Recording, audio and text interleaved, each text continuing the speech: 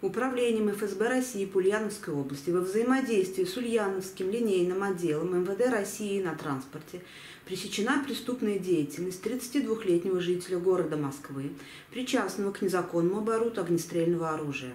В феврале 2022 года в ходе оперативно-розыскных мероприятий сотрудниками ВФСБ совместно с коллегами из транспортной полиции задержан житель города Ульяновска, причастный к незаконному приобретению частей огнестрельного оружия.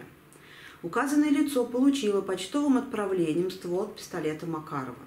В результате комплекса оперативно-розыскных мероприятий оперативно-следственной группы МВД и ФСБ в почтовом отделении города Москвы при попытке отослать заказчику очередной запрещенный к свободному обороту предмет, житель столицы был задержан поличным. В ходе проведения осмотра в арендованном фигурантом гараже были обнаружены изъяты винтовка, 5 пистолетов-пулеметов, более 500 патронов различного калибра, основные части огнестрельного оружия различных моделей, а также многочисленные инструменты для изготовления предметов вооружения, в том числе два промышленных станка.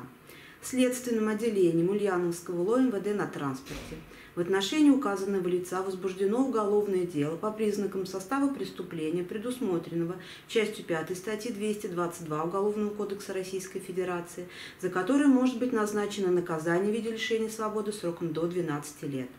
В настоящее время материалы уголовного дела с утвержденным прокурором обвинительным заключением направлены в Щербинский районный суд города Москвы для рассмотрения по существу. В отношении фигуранта избраны меры пресечения в виде заключения под стражу.